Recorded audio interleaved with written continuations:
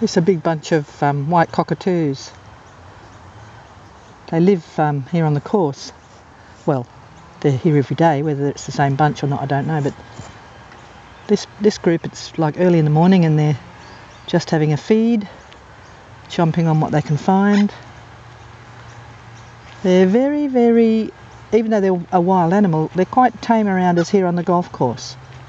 They're quite used to people walking past, especially. I mean, I'm on the on the track, so I'm not disturbing them too much. Here comes a couple of cheeky ones.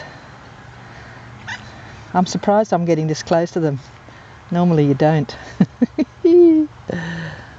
I used to have a tame one that had been um, obviously uh, kept from a baby. You've got to keep them from babies. And uh,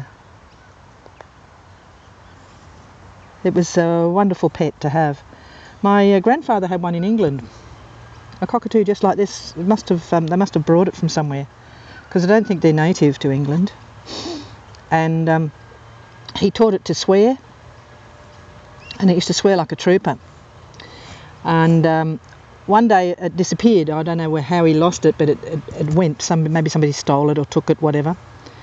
And uh, 20 years went by, and uh, one day he he was he he had this wonderful shop in Grimsby where he sold um, curios and second-hand furniture and um, uh, just all sorts of stuff. I, I, remember playing in it when I was a kid. It was the most wonderful adventure. His shop, and um, one day he went to this house uh, where somebody died, and uh, that's how he got a lot of his um, stuff to sell in the shop, a lot of his furniture and bric-a-bracs, and uh, he got this uh, stuff from this house. And he went up to the house and he knocked on the door, and this voice said hello, and he said hello, and he knocked again, and this voice said hello, and he, he said, oh hello, is uh, I've come here to pick up the furniture, and the voice said, is that you, Charlie, you old bastard?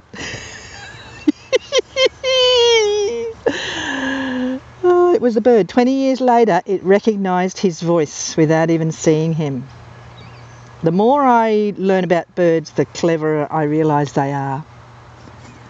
They're the only other animal, apart from uh, monkeys, that are closely related to human beings, that pick things up in their claw and use it, um, whatever they've got in their claw, as a tool to smash something.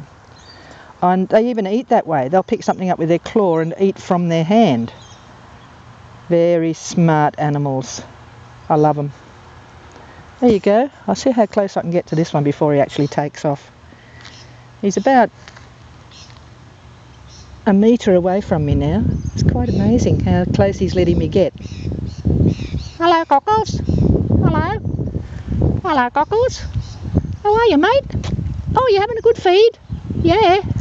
Cockle, cockle, cockle. Oh, he's alerted them all. They're going to go. They're going to take off. Oh, see you later, guys. Bye.